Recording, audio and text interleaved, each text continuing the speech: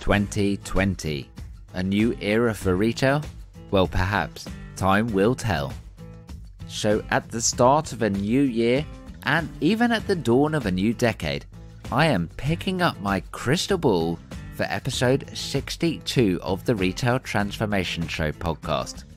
And I'm making a few predictions about some of the themes and trends that we're going to see and hear a lot of in the coming year.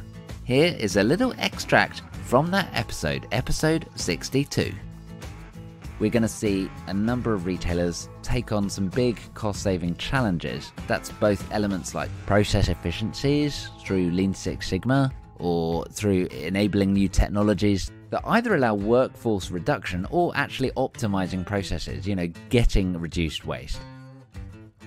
We'll see more and more changes coming through that have a very sustainable mindset. It's not just about plastic reduction, although that is a huge part of it. I think what we're going to see is we're going to see more marketing money being spent promoting out corporate values, corporate purposes, you know, similar to how we see the Christmas ads come out, really embedding a feeling in consumer mindset rather than just, here's our stuff, wanna buy it. Social shopping is going to really increase, I think.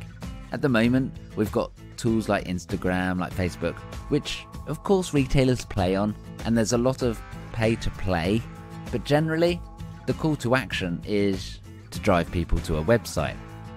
So that was a little sneak peek of what is waiting for you in episode 62 of the Retail Transformation Show podcast. You can find it on your usual podcast player.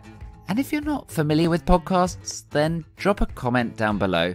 It would be great to help you discover them.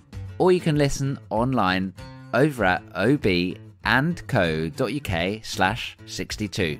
Enjoy listening, and I look forward to hearing what you are predicting for 2020.